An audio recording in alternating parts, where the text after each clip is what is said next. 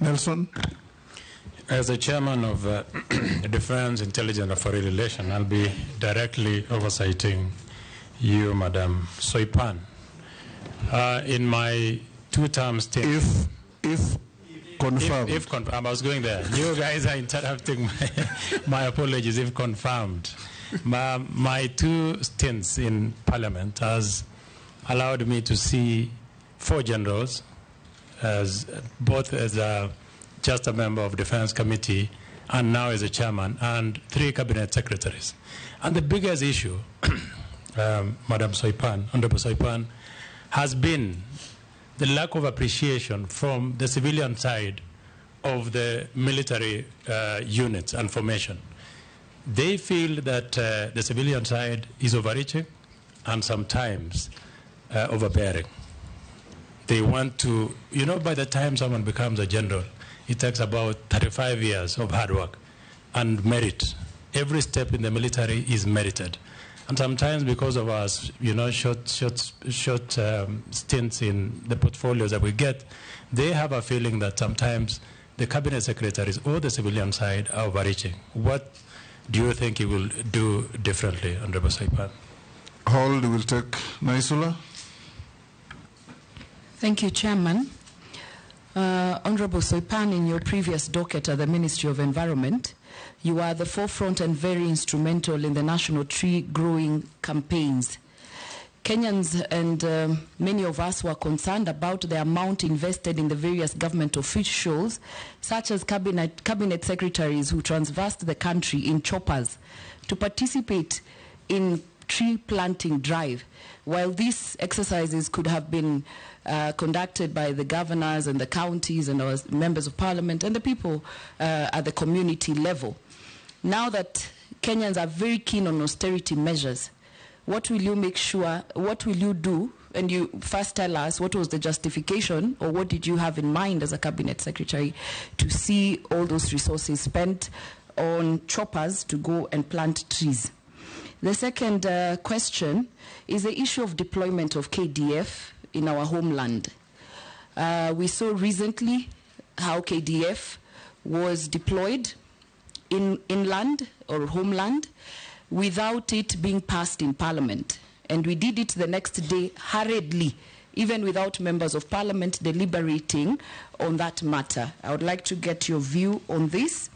And also deployment of KDF in parts of North Rift, uh, parts of our country. And the true feeling on the ground is that they do not respond fast when they are needed. They say they have to wait for orders. And the questions the, the civilians and the communities are asking, then why are you there in the first place if you cannot be the first respondents when something happens, when the bandits attack, and you have to wait for, for orders from somewhere else? And Chairman, the last question is that there are projects which were done by KDF in the last administration. Some are complete, but payment has not been done. Will the payments, do you think there should be continuity in government projects while others are incomplete, but two years down the line they have not uh, uh, been embarked on? Do you think continuity should be there? Because there should be value for money. You can respond to those two. Thank you, Honorable Speaker. The question by the Honorable Nelson Koech on uh, the uh, probability of my overreaching uh, my mandate uh, from the civilian side and infringing on the uh, uniformed side of the, the ministry, I can give assurance um, to all the players in the Ministry of, of Defense that uh, upon my confirmation as, as uh, CS Defense, that uh, as I had said earlier, I'm very um, heavy on team playing. I'm also a fast learner, Honorable Koech, and I'll have a lot of learning to do in terms of the military operations, the administration.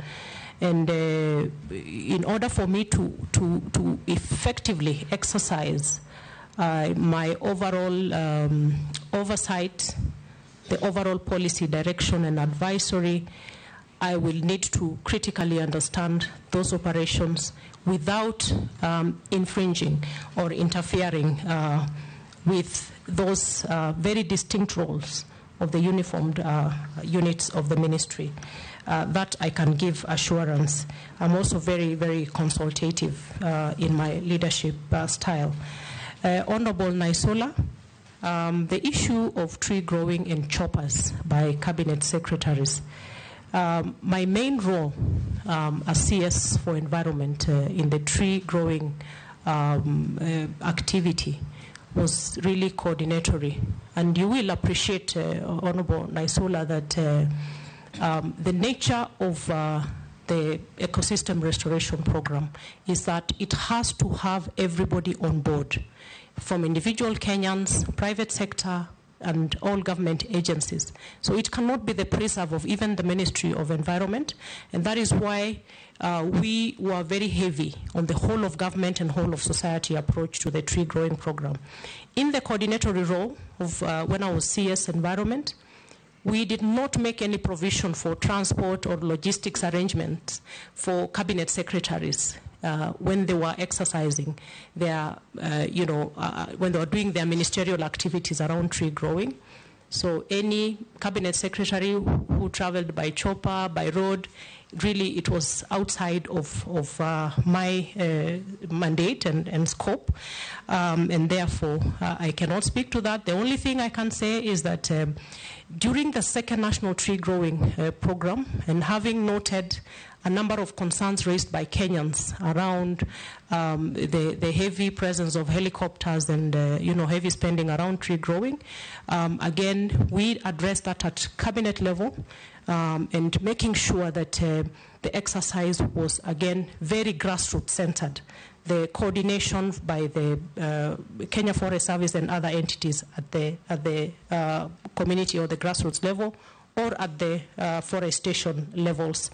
And therefore, in, in terms of resources, I, I, had no mandate to uh, resource anybody to go out and plant trees. Actually, my role was only uh, coordinatory. Um,